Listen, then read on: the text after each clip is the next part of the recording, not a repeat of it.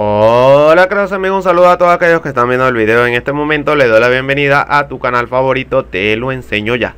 En este video tutorial te ayudaré a reparar o corregir un error para cuando no podemos instalar aplicaciones en nuestro Android. Si deseas saber cómo repararlo, pues quédate a ver el video. Cuando no podemos instalar aplicaciones, yo les recomiendo que vayamos al menú del teléfono en la parte de ajustes y luego en aplicaciones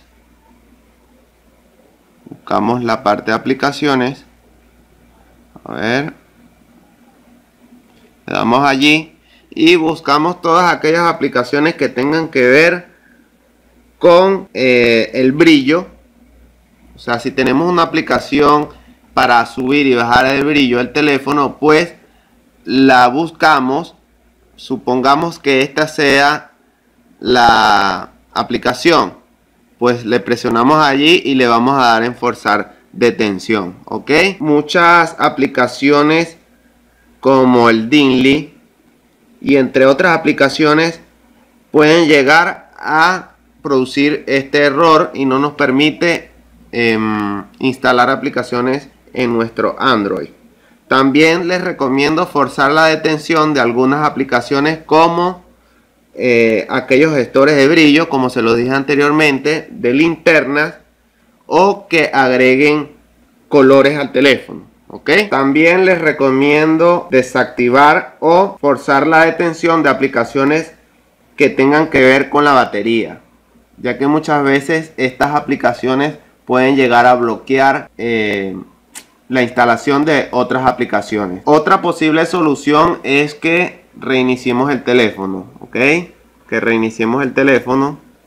Le vamos a dar, eh, como si fuéramos a apagar el teléfono, le vamos a dar en reiniciar. Cuando reiniciamos el teléfono, intentamos para ver si el problema se ha solucionado. Otro aspecto que debemos tomar en cuenta es revisar la cantidad de espacio disponible que tenemos en nuestra memoria interna y externa, ¿ok? Ya que muchas veces queremos instalar una aplicación y no, no, nos fijamos de cuánto espacio necesita en el teléfono. Y la cuarta posible solución es que vayamos al menú en la parte de ajustes. Procedemos a ir a seguridad.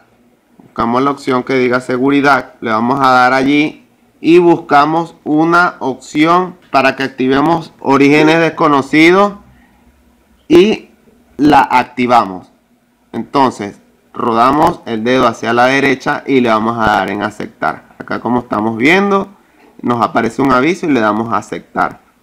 Si en dado caso no les llega a servir de esa manera, pues eh, por último yo les digo que reiniciemos o restablezcamos el teléfono a fábrica.